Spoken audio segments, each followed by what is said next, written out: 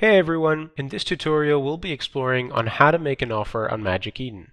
Let's make an offer on the Magic Ticket. We'll go with the normie one. Click Make an Offer and make sure that your bid is at least 50% of the item's Buy Now price.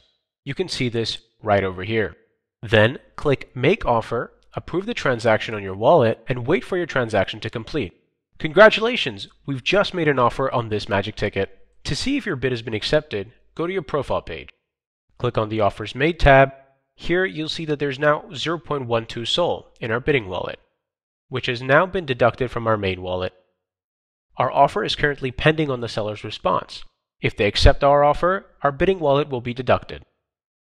Now, let's cancel the offer. Remember to cancel the bids of NFTs you no longer want.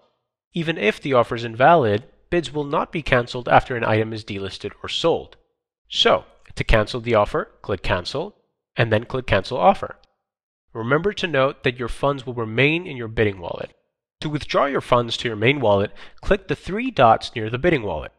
Next, click Withdraw All to main wallet. In this example, 0.12 SOL will be deducted from the bidding wallet and added to the main wallet.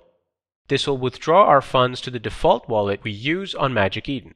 Now, we have withdrawn all of our funds from the bidding wallet to the main wallet. And that's how you make an offer on Magic Eden.